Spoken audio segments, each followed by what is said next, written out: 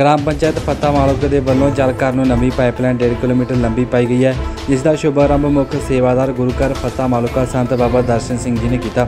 ਇਸ ਮੌਕੇ ਸਰਪੰਚ ਐਡਵੋਕੇਟ ਗੁਰਸੇਵ ਸਿੰਘ ਫੱਤਾ ਮਾਲੋਕਾ ਨੇ ਜਾਣਕਾਰੀ ਦਿੰਦੇ ਦੱਸਿਆ ਕਿ ਪਹਿਲਾਂ ਵਾਲੀ 20 ਸਾਲ ਪੁਰਾਣੀ ਸੀ ਅਤੇ ਪਿੰਡ ਨੂੰ ਪਾਣੀ ਦੀ ਬਹੁਤ ਕਮੀ ਮਹਿਸੂਸ ਹੋ ਰਹੀ ਸੀ, ਕਿਉਂਕਿ ਧਰਤੀ ਹੇਠਲਾ ਪਾਣੀ ਬਹੁਤ ਮਾੜਾ ਹੈ। ਨਵੀਂ ਪਾਈਪਲਾਈਨ ਗ੍ਰਾਮ ਪੰਚਾਇਤ ਦੇ ਵੱਲੋਂ ਪਾਈ ਗਈ ਹੈ। ਇਸ ਮੌਕੇ ਤਰਲੋਕ ਸਿੰਘ, ਹਰਨੇਕ ਸਿੰਘ, ਪੰਚ ਵਿਸਾਖਾ ਸਿੰਘ, ਪੰਚ ਬਿੰਦਰ ਸਿੰਘ, ਨਿਰਮਲ ਸਿੰਘ, ਨਿਮਾ ਜਸਵੀਰ ਸਿੰਘ, ਅਜੈਬ ਸਿੰਘ, ਹਰਦੇਵ ਸਿੰਘ, ਪੰਚ ਹਮੀਰ ਸਿੰਘ, ਪੰਚ ਆਦਿ ਹਾਜ਼ਰ ਸਨ। ਸਰਪੰਚ ਸਾਹਿਬ, ਜੋ ਅੱਜ ਪਾਈਪਲਾਈਨ ਪਾਈ ਗਈ ਹੈ ਵਾਟਰ ਵਰਕਸ ਨੂੰ, ਇਹ ਕਿੰਨੇ ਦੀ ਪਾਈ ਗਈ ਹੈ ਤੇ ਕਿੰਨਾ ਕੁ ਫਾਇਦਾ ਹੋਊ ਇਸ ਨੂੰ ਪਿੰਡ ਨਾਲ? ਸਭ ਤੋਂ ਪਹਿਲਾਂ ਤਾਂ ਮੈਂ ਸਰੋਤਿਆਂ ਨੂੰ ਸਾਰਿਆਂ ਨੂੰ ਫਤਿਹ ਅਰਜ਼ ਕਰਦਾ ਵਾਹਿਗੁਰੂ ਜੀ ਕਾ ਖਾਲਸਾ, ਵਾਹਿਗੁਰੂ ਜੀ ਕੀ ਫਤਿਹ। ਜਿਹੜੀ ਇਹ ਪਾਈਪਲਾਈਨ ਹੈ, ਇਹ ਅਸੀਂ ਨਹਿਰ ਤੋਂ ਲੈ ਕੇ ਵਾਟਰ ਵਰਕਸ ਤੱਕ ਪਾ ਰਹੇ ਹਾਂ, ਇਸ ਤੇ ਕਰੀਬ 15 ਲੱਖ ਦੇ ਕਰੀਬ ਖਰਚਾ ਆਊਗਾ। ਔਰ ਪਾਈਪ ਪਹਿਲਾਂ ਵੀ ਪਈ ਹੋਈ ਸੀ, ਪੱਥਰ ਦੀ ਪਾਈਪ ਸੀ, ਪਰੰਤੂ ਉਹ 20 ਸਾਲ ਪੁਰਾਣੀ ਹੋਣ ਕਾਰਨ ਔਰ ਲੈਵਲ ਵਿੱਚ ਜਲਦਬਾਜ਼ੀ ਚ ਪੈਣ ਕਾਰਨ ਲੈਵਲ ਵਿੱਚ ਨਹੀਂ ਸੀ।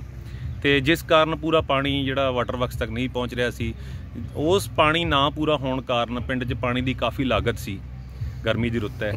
ਸੋ ਅਸੀਂ ਮੋਟਰ ਇੱਕ ਸਾਨੂੰ ਉੱਥੇ ਲਾਉਣੀ ਪਈ, ਅਸੀਂ ਮੋਟਰ ਨਾਲ ਚਲਾਉਂਦੇ ਹੁੰਦੇ ਸੀ, ਪਰੰਤੂ ਮੋਟਰ ਦਾ ਪਾਣੀ ਕੋਈ ਬਹੁਤਾ ਵਧੀਆ ਨਹੀਂ ਸੀ, ਜਿਸ ਨਾਲ ਕਈ ਤਰ੍ਹਾਂ ਦੀਆਂ ਘਾਤਕ ਬਿਮਾਰੀਆਂ, ਕੈਂਸਰ, ਲਿਵਰ ਹੈਪੇਟਾਈਟਿਸ ਉਹ ਸਾਰੀਆਂ ਡਰ ਬਣਿਆ ਰਹਿੰਦਾ ਸੀ। ਸੋ ਸਾਰੀ ਪੰਚਾਇਤ ਨੇ ਵਿਚਾਰ ਕਰਕੇ ਅਸੀਂ ਜਿਹੜੀ 15ਵੇਂ ਵਿੱਤ ਕਮਿਸ਼ਨ ਦੇ ਵਿੱਚੋਂ ਪਾਈ ਪਾ ਰਹੇ ਹਾਂ। ਲੋਕ ਸਿੰਘ, ਪਾਸੀ ਫੱਤਾ ਮਾਲੋਕਾ। ਅਸੀਂ ਸਾਰਾ ਨਗਰ ਵੱਲੋਂ ਧੰਨਵਾਦ ਕੀਤਾ ਜਾਂਦਾ ਸਰਪੰਚ ਸਾਹਿਬ ਦਾ ਤੇ ਸਾਰੀ ਸਮੁੱਚੀ ਪੰਚਾਇਤ ਦਾ ਤੇ ਨਗਰ ਨੇ ਸਾਰਿਆਂ ਨੇ ਰਲ ਕੇ ਜੋ ਇਹ ਵਾਟਰ ਵਰਕਸ ਦੀ ਪਾਈਪ ਜਿਹਦੀ ਕਿ ਬਹੁਤ ਜ਼ਿਆਦਾ ਲੋੜ ਸੀ ਪਿੰਡ ਦੇ ਵਿੱਚ ਇਸ ਟਾਈਮ ਉਹ ਪਾਈ ਹੈ। ਉਹਦੇ ਪਾਉਣ ਦਾ ਅੱਜ ਕੰਮ ਸ਼ੁਰੂ ਕੀਤਾ ਹੈ, ਜੋ ਕਿ ਨਗਰ ਦੀ ਤੇ ਪੰਚਾਇਤ ਦੀ ਸਾਰਿਆਂ ਦੇ ਸਹਿਯੋਗ ਨਾਲ ਪਾਈ ਜਾ ਰਹੀ ਹੈ। ਉਹ ਜੋ ਕਿ ਅੱਜ ਦਾ ਇਹ ਲੋੜ ਸੀ ਪਿੰਡ ਨੂੰ ਬਹੁਤ ਜ਼ਿਆਦਾ, ਕਿਉਂਕਿ ਥੱਲੜਾ ਪਾਣੀ ਬਹੁਤ ਖਰਾਬ ਹੈ। ਬਿਮਾਰੀਆਂ ਨਾਲ ਭਰਿਆ ਹੋਇਆ ਹੈ। ਇਸ ਕਰਕੇ ਇਹ ਨਵੇਂ ਸਿਰੇ ਤੋਂ ਪਹਿਲਾਂ ਵਾਲੀ ਪਾਈਪ ਬਲੌਕ ਹੋ ਰਹੀ ਸੀ।